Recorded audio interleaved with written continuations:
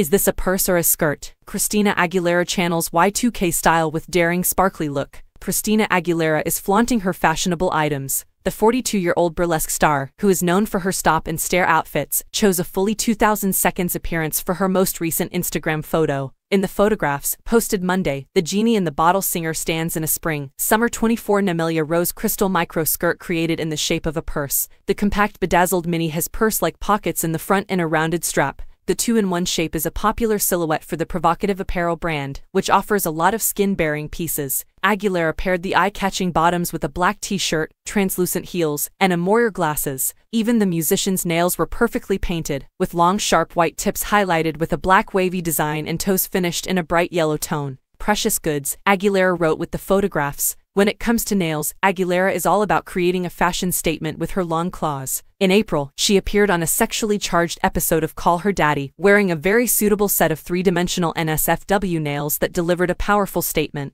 I'm staring at your nails, what's going on? Host Alex Cooper asked before directly asking, is that a vagina? Oh yes, Aguilera replied with a smile. They're so fun. It's open to interpretation, she added. It could be a vagina, it could be lips, but two in the same, both pleasure points, you know. This couldn't be more appropriate for a Call Her Daddy episode.